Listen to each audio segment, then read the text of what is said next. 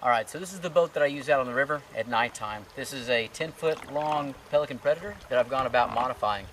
Up front here, you have a 50 pound thrust electric trolling motor. This is a Minn Kota, and I've got it up front because I'm usually out here by myself, spearfishing primarily at nighttime. So I have one hand on the tiller, one hand on my spear, and I usually get them before they even know I'm here. I also mentioned that it's modified. Going around the hull, integrated inside, right under the lip, I've got LEDs, and these are low voltage, high lumen LEDs, and they give me a 360 field view all the way around me here at nighttime. It allows me to see everything, I'm not going to run into a tree, nothing's going to really sneak up on me. In addition to the lights going all the way around, I also have a rig that allows me to see underwater.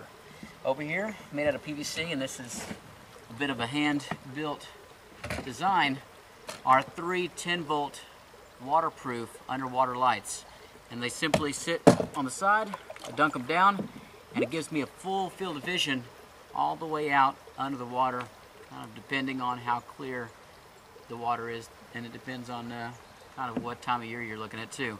But I have my spears, uh, spear gun, this is usually what I use to finish things, and also a spear pole with a Hawaiian sling.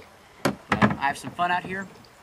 The river at nighttime comes alive, and uh, I'll show you what it looks like at nighttime in just a moment.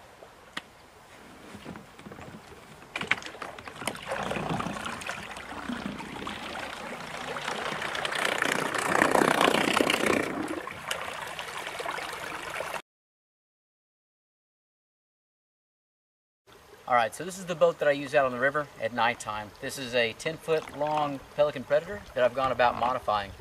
Up front here, you have a 50 pound thrust electric trolling motor. This is a Minn Kota, and I've got it up front because I'm usually out here by myself, spearfishing primarily at nighttime. So I have one hand on the tiller, one hand on my spear, and I usually get them before they even know I'm here.